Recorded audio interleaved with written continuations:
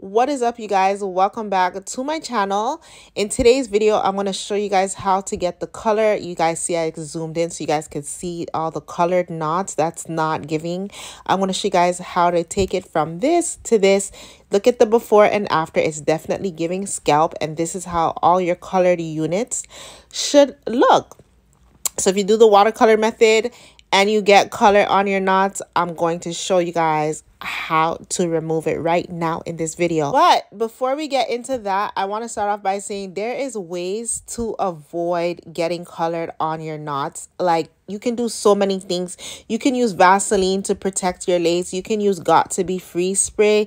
You can use layers of the Ebin adhesive spray. You can use the Gorilla Snot. You can use so much things to protect your lace. But for me, I purposely um got color all over the knots um, for the purpose of this video. So this was an old wig and I knew that I wanted to record this video.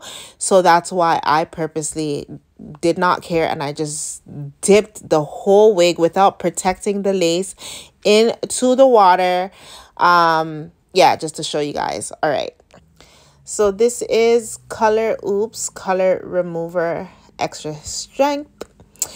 And it's really simple, like really, really easy to use. It comes in two steps. Step one and step two and you're just to pour step one into step two and then you're going to um mix it around shake it up or whatever and then what i do is i just pour it into um a mixing bowl and then mix it around some more and then um this product you guys is very very very very very runny. Like it's very watery.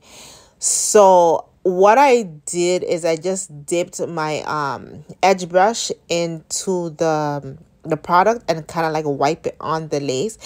And you guys can see like after like 10 minutes, the color is already starting to come out. Like it's crazy. It's like magic. You can see that? Like it's completely gone. So you just really want to take your time with this though, because it can get messy because like I said, it's very, very, very runny. And because it's so runny, I wanted to show you guys. See, I accidentally got some on the hair. It ran, it bled through and yeah, so just be very careful. Um, so I actually had to go back in and re-dye that part, which is okay. But here is the before and after, you guys. Like, come on. Come on. Come on.